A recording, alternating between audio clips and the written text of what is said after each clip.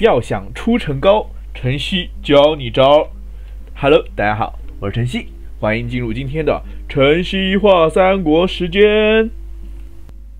本期的话呢，是邀请大家跟晨曦一起聊聊三战各个阵营最值得求贤的武将。那首先映入眼帘的话呢，曹魏阵营当之无愧的是曹操。从属性面板上来看的话呢，奇盾双 S，这就给了曹操的话呢很大的一个发挥空间和队伍的适配性。其次的话呢，智力九十一，统帅九十九，在四维这一块的话呢，智统双全，能够很好的拥有很好的抗击打能力。其次，我们再来看到曹操的他的一个战法。满级的乱世奸雄呢，可以给友军提造成的伤害提升百分之十六，自己受到的伤害的话呢，减少百分之十八，而且自己是主将的时候呢，副将造成伤害的时候呢，还可以恢复一定的兵力。说句实在话，一个技能集了增伤、减伤、回复于一体，并且呢，它还是指挥战法。你觉得这样的战法牛逼吗？那肯定牛逼啊，对不对？然后它常规的搭配的话呢，就是司马懿、曹操满宠的太尉盾，以及的话呢夏侯渊、曹操、郭嘉的单核渊骑，这都是比较强势的队伍。甚至说的话呢，张角的三世旅，呃，张角的三世张角。跟曹操搭配也能够发出不发挥出不俗的效果，所以呢，十分值得推荐的。为国求贤，非我曹操莫属。那接着我们把眼光跳转到吴国阵营。吴国阵营的话呢，我们选择的是鲁肃，为什么呢？原因有以下几个。第一个的话呢，鲁肃是作为 S 三的限定武将，过了 S 三。再想在 PK 赛季，他抽是抽不了的。其次的话呢，我们可以看到他的兵种属性上，盾、弓、枪其实都是 A，其实适配性还算不错。最最重要的的话呢，是他的战法济贫耗失。我们可以看到济贫耗失的满级效果，战斗第二回合将自身的属性的百分之四十移交给兵力最低的友军。三到五回合恢复我军兵力最低单体百分之二百八十四的治愈率，而且还受到智智力的影响，并且的话呢，还会将其受到的伤害降低百分之二十六，持续一个回合。我们可以看到啊，这个战法它是集转移属性加恢复最低兵力单体加减伤为一体。转移属性的话呢，无论是给到说你的大 C，比如说你的大 C 输出百分之四十的属性增加，它的伤害更为强力，更为爆炸。那如果说你这百分之四十的属性的话呢，移交给了，比如说移交给了呃你队伍最强硬的人，那他可以类似于一些呃满宠队伍啊，或者说一些队伍，那他可以更好的去给您去。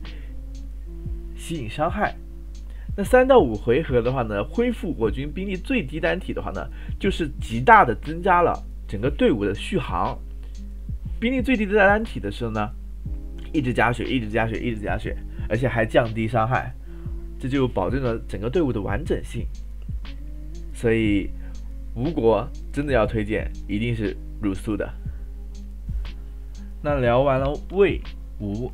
那蜀国也是必不可缺的一环。那蜀国的话呢，其实上榜的话，我建议是有两位。第一位的话呢是刘备。那为什么选择刘备呢？不是说他的属性有多厉害，也不是说他的战法有多强，主要是因为一个战法——军民。那首先我们看到军民整个战法的话呢，它的。兑换其实相对来说是比较简单的，丞丞将的话呢，只用到了刘备一人，那还有搭配子将糜兰和孔融，那蓝将陶谦就可以兑换了。但你别看只消耗了一个刘备，但他的一个战法效果真的很强很牛皮。我们具体看一下，指挥型战法，战斗前三回合，我军两人造成的伤害降低百分之二十四，受到的伤害也降低百分之二十四，受到统帅影响。战斗第四回合呢，恢复兵力百分之一百二十六，受到智力影响。就我们可能初看啊，初看下来的话呢，哎，你既然又降低我军的伤害，又降低敌军的伤害，那不是一把双刃剑吗？对不对？但是我们仔细去想，战斗前三回合主要是针对什么队伍？速攻队伍，对不对？那主要适合什么队伍呢？就是越往后面拖，越为强力的队伍，比如说什么太尉盾，那其实无枪也算在内。那这个时候，太尉盾无枪能够保证前期没有被速攻队伍爆头的情况下，它肯定是越来越强的。而且的话呢，还会搭配一个恢复兵力效果，也颇为不俗。整体来看的话呢，是非常非常厉害的一个战法，这也是选择刘备的原因。那蜀国第二位上榜的武将就是诸葛亮。那选择诸葛亮的话呢，原因很简单。从首先我们从属性上来看啊，诸葛亮的属性真的没法挑。智力一百，三战天花板，统帅九十八，统帅也是接近于天花板的存在。你这个时候你去挑他属性完全没得挑。工兵 S，枪兵 S，那他的话呢搭配起来也蛮轻松的。比如说 S 一的天枪，S 二的鼠智。和 PK 赛季开始的麒麟都是特别牛皮的，特别牛皮的一个队伍搭配。那其次我们看到它战法搭配，其实这个战法的话呢，神机妙算，对于就敌军两人就是发动主动战法时候呢，有百分之三十五的几率，那令其发动的主动战法失败，并造成一个谋略伤害。其实怎么说呢？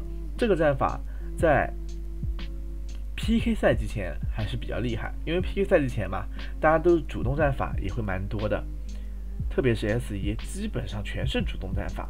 但是你进入 P.K 赛季之后，大家都会选择更为稳定的指挥、被动突击，那这个战法的话呢，就意义不大了。诸葛亮也变成了一个从副 C 的一个位置，变成一个偏向于纯辅助的一个位置。但是呢。丝毫不影响他的地位，因为他能够换一个特别强的战法——草船借箭。那我们可以看到，草船借箭的话呢，是需要消耗三个沉将的：周瑜、诸葛亮和于禁。所以的话呢，我也就把诸葛亮排在刘备后面，因为这个所需要消耗的武将要更多一点。但是技能效果很强的哦，我们可以看到，移除我军群体。负面的效果，群体的负面效果，并且使我军两人获得急救状态。受到伤害的时候呢，有百分之七十的几率恢复兵力，持续整整两个回合。我们可以看到，移除三两到三人的负面效果，这对于魏法奇以及的话呢一些需要负面来打伤害的队伍来说的话呢，是非常非常克制的。而且的话呢，我军群体的一个恢复状态，急救状态。也给了队伍增加了一定的续航，再加上我们看到啊，主动战法百分之六十五的概率，这怎么说？天花板了吧？所以整个看下来的话，草船借箭真的很强，这也是为什么选择诸葛亮上榜的原因。那最后我们的群阵营的话呢，我选择的是张角，这个应该大家也不意外，主要是因为的话呢，张角的瞬间爆发。太高了，而且非常百搭。我们可以看到盾弓是双 S 的，这就让张角可以在很多队伍当中去适配。比如说三式盾张角是非常强的，风使阵张角、五风阵张角都是很强的，甚至说在群攻张角，它都有一席之地。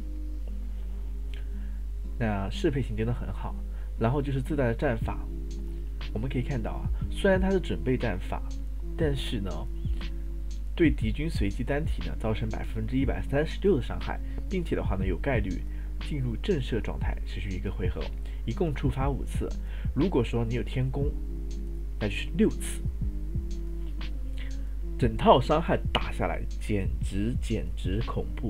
就我自己实战的情况下来的话呢，张角最低的话呢，一发都能打五千，你高的时候的话，一发八千、九千都有，真的瞬间爆发，特别强，而且这个队伍的话呢，特别百搭。其次的话呢，就是我们要说到的太平道法。那我们可以看到啊，太平道法的话呢，它的一个兑换要求很简单，就是张角三兄弟。但是的话呢，你不要小看它的效果，获得百分之二十八的奇谋，并且提高自带战法百分之六的发动率。如果是准备的话呢，提高百分之一十二，受到智力影响。那真实效果的话，下来的话差不多二十多，而且自身为主将。那副将的话呢是黄巾军，也同样有相关的一个战法提升。就这个战法，你可以不夸张的说啊，它是后期大和法师的话呢，算是常备的一个技能。比如说张角自身自己，我换我自己，我用我自己，然后陈玉，陈玉伤害很高的，但是呢有太平就更强了。所以说陆逊，陆逊配上这个也很强，而且。庞统，庞统的自带战法发动率其实并不高，但是呢输出很强，有了太平的加持，他就会很强很强。所以这也是我们之前也讲到的太平四杰，就是这四位。所以这是群阵营的一个选择了。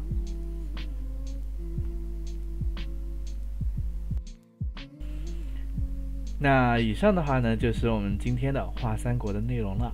我是晨曦，我们下回再见。喜欢晨曦的朋友可以点点关注哦，拜拜。